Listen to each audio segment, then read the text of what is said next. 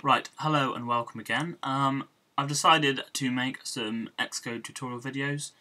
Um, so in this video I'm going to be going through and detailing how to build a very basic drum sampler. I'm going to be going a little bit into the coding behind it as well as actually explaining what's going on. But overall you should be able to still build the app if even if you haven't got a clue about the code to be honest because I'm going to give you all the code um, the only thing you're going to need is the samples, but like I said, it's quite easy to get hold of drum samples. There's so many free drum samples on the internet, and you can use whatever drum samples you want. To be honest with you, you don't even need to use drum samples. So I've just built and run my app. Um, as you can see, I haven't really, you know, gone a lot into the, uh, you know, making it look nice, but functionality, it works fine. So we'll hit start, and there we go. As you can see, it automatically played you a kind of intro, very basic drum beat. Um, um, so let's just, you know, basic. Pretty cool, I'm quite happy with that. So let's go to quit. So we've quit our app. Right, so let's get on and build it, we'll be here all day. So I'm going to go File, New, New Project. So if you've just opened Talai, I will show you what happens if you actually have just opened Xcode. Um, just to let you know, I'm in Xcode version 4.2, which is not the most recent it is one behind, but this really is tutored at 4.2 because 3.2 does some very strange things, and to be honest with you, it's just old. Just upgrade to the newest one. So let's, sorry, let's close down what I've got open as well. Go away. Okay, so now we can start Xcode properly. So let's fire up Xcode. Okay, this is what will happen when you open it start with. So I want to go create a new Xcode project. Okay, so it's now loading. Um, you have loads of templates there to choose from, but what we're going to be working is a single view application. So hit next, um, and we're going to be choosing a name for our product. So let's call it Drum Sampler. Happy days. Um, we want to make sure it's for the iPhone. I'm only going to use the iPhone for this tutorial. You, we want storyboards and we also want automatic reference counting. Make sure these are included, just because you know that's what I'll be using in this tutorial. So hit next again. Um, choose where to save it. Um, I need to change my name, sorry, because I've already got one called Drum Sampler. So Drum Sampler 2. Happy days. Create. Okay, so that is now created. Let's maximize our workspace so we can, you know, work in full screen. The first thing to do is we're going to add two new frameworks to our project. Frameworks are essentially libraries of code that allow us to do certain things with the app. We want one for the audio, so we're going to just click on the little add symbol and go to audio. Okay, so in audio we need to find audio toolbox and click add. That's all we've got to do. That's added that to the project and we also need to add another one called quartz which is just hiding itself away. There we go, quartz core. Add that one. Okay, so we now have two of them. Now let's just sort this out and make it a bit more tidier. So we'll drag these two and put them in frameworks just to make it look a bit tidier. Right click on the this little symbol, uh, this part of the navigator here, and hit new file we want to add a UI view controller subclass because we need to have two classes for this program.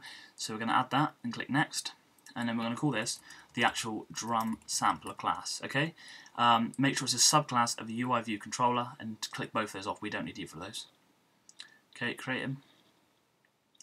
Okay, so we now have two new classes. By the way, if this menu here isn't actually open, if you press Command and 1, it will open it up like that. And if it's you still if you can't see it to start with, if you go up to your editor up here, then you can see there is a um, view. Make sure the two side tabs are open like that, and that'll allow you to see it. Should have probably explained that to start with, but hey, there we go. Right, one more thing we want to do is right click on this again and go new group, and we're going to call this group um, sat drums, drum samples. Okay, so we've now added, we've got our sample, a, a, group for our samples, and while we're at it, I'm going to now drag in my samples. So in my Finder, I have four samples. So we're going to need drag them straight into drum samples. Um, make sure you copy the items into the destinations group folder. Okay, that just includes them in the bundle then, so they're easy to find. There's our samples. Right, the first thing we're going to do is we're going to set up our storyboard, which is what we're going to basically use to view our app. So this is our this is our initial storyboard. This is where what we'll see when the app's launched. So let's add a few things. So the first thing we want to do is add a label. A label, drag, there we go, behaving itself today. And we're going to call this welcome to my to my sampler. No, not call that. We'll just call it drum machine.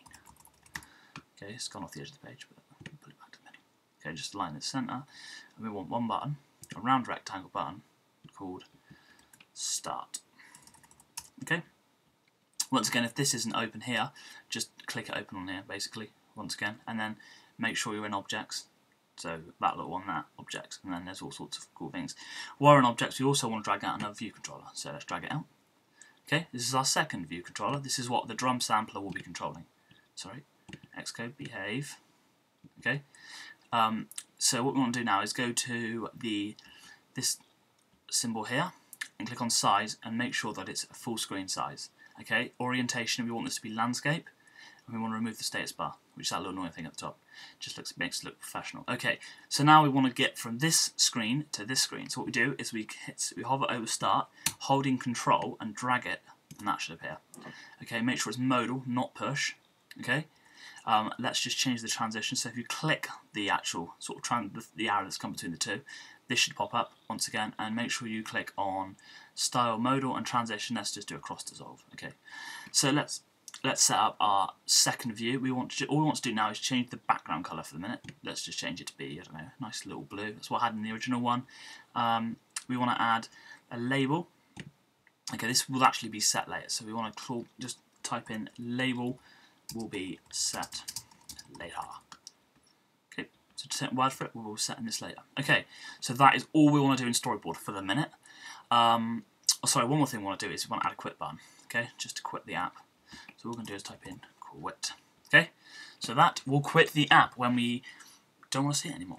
Um, okay, so we've set up um, all we need to do in storyboard. Sorry, the one last thing we need to do, click on the view controller here, and then go on to the third icon along, and this is the class. Now what a class is, is it's basically the blueprints of um, the instructions to run this view, if you like. So we want to change it to be drum sampler, because that's what we're going to use to control it, okay?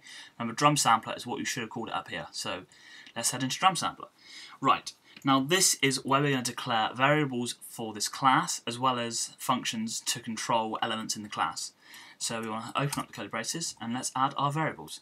So the variables we're going to need is an ns string called, let's call this um, sampler name. Okay, that's done. Um, we also want to add a timer, ns timer, and we're going to just call this start timer. We want to add a label, so we want to type in ib outlet ui label, and we want to call this label um, okay, sampler name label. That's now set. Um, we also want to add quite a few more things.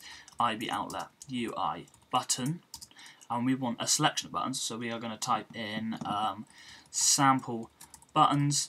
Open a, open a square set braces and type in four. Okay, so what we've done is create an array of buttons because we want four buttons in this case. Um, sorry, I've been a plonker. You may need to make sure you put the asterisks to declare it as a pointer rather than just normal variable. Okay, so I've just set all those up. Um, a few more basic things. Int sample is another. Um, sorry, do we need that? No, we don't need that. What am I doing? We want int um, seek count. Keep it short. Okay, that's all the variables we're going to need for the minute. So let's go down and add all our functions. Hit a few spaces, make a few spaces. Right, so the first thing we want to do is actually make a function that's going to initialize our buttons. So we're going to call this one, we're going to open up this, void. So void basically means this first bit here is what we're going to be returning um, from a function, and we're not returning anything because we're just setting up the buttons. So we're going to call this um, int, in, sorry, init for initialize buttons. And once again, it's not you're not sending anything other than just just you know just calling the function, not sending any information. So don't put anything. Okay, that's our first function set up.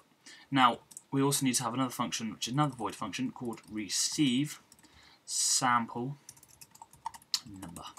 Okay. Um, once again, we need another function called. Uh, let's think about this. Uh, another void function, which is our intro function. Um, that's just, this is what makes at the start of the app. If you remember, it played us, you know, four notes, boom, boom, boom, boom, just played the four samples, and that's what that function does. Okay, we also want a play sample function. Now this is slightly different because what we need to do is write play sample and this is actually going to be sent an int. So we need to open up brackets, type int sample number. Okay. Um, sorry, we need to change our receive sample number because this is actually what um, we need to. This is what is going to be um, set as the action of the buttons when they are pressed down. So we need to change this to be IB action. Okay, change the selector to be receive sample number, and then we'll just delete this all on the end. Be to put sorry, open brackets ID sender because it's being sent an object which is ID. Okay, uh, a couple more things. Void quit, and I think we're done. Initialize sample, receive sample number. Uh, sorry, I'm just quizzing myself here. I think, I think I've. Let me just check what I did before. So I've got like a little, you know, as they say in Blue Peter and Places programs like that. I have. Well, I should have. Where's my text edit gone? Ooh, I've lost it. It's disappeared. Sorry about all the tabs I have open. I'm very messy with my work. Okay, I've lost it. I did have uh, a big notepad with many, many, all the code I had before so I could look at it for referencing, but I'm pretty sure that's all we need. Okay, so let's go. Um, for, for now, that is the end of this half of the tutorial. Um, in the second half, I will be writing out all this code to program it, basically, which is in the method folder. Oh, sorry, method of the class. So, join me back in part two, and I'll be showing you the rest of the app. So, hopefully see you again. Cheers.